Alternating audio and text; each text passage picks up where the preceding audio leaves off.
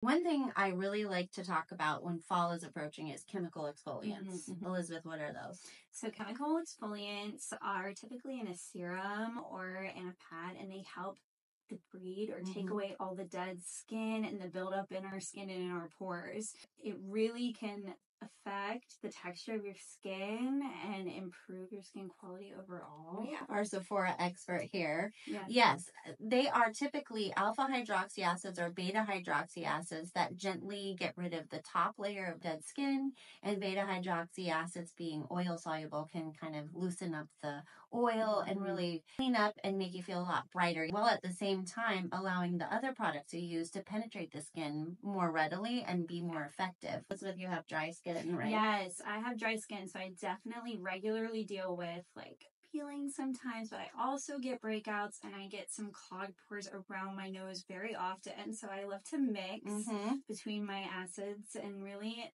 improve that texture. Yeah, and you can so tolerate much. them. Yes, It I can. Thank beautiful. you. So at Clara, we have clean sweet pads, which are a combination of alpha hydroxy acid and beta hydroxy acid, so that they're very easy to use, clean the skin, make you feel great, make your other products work great, while still being tolerable for most skin types. Love those. They're so easy to use too, especially in the morning. You just get this nice fresh. Yeah, I love it too. Mhm. Welcome to fall. Yeah.